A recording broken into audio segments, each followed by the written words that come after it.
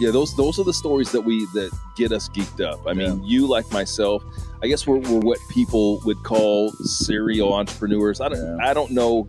I've never really dug that term. No. What about you? No, I think yeah, it's just. Uh, I don't think you. Ha- First of all, serial reminds me of serial killer, so I don't know that I want that in front of the in front of a. It's something that describes me, but um, no, I think you know at the end of the day, what does this come down to? And it's whether you have your own business or whether or not you're in a business. It's just about do you have the ability to get back up after you've been punched? And if you haven't been punched, then you then you're not setting your goals high enough. And so I think the best way to probably you know kind of talk about it is kings want to talk to kings and you know that's where i want to fly so that's what we'll keep doing we'll keep reaching high I love that dude, and what I really like about you is that um, one of the many things. But you know, you said get punched, right? Yeah. Well, what about when you've been Chris Tuckered? When you've been knocked the f out, Yeah. like, Yeah, yeah, right? So like hey that happens. It happens in business and how do we deal with it? How do we recover?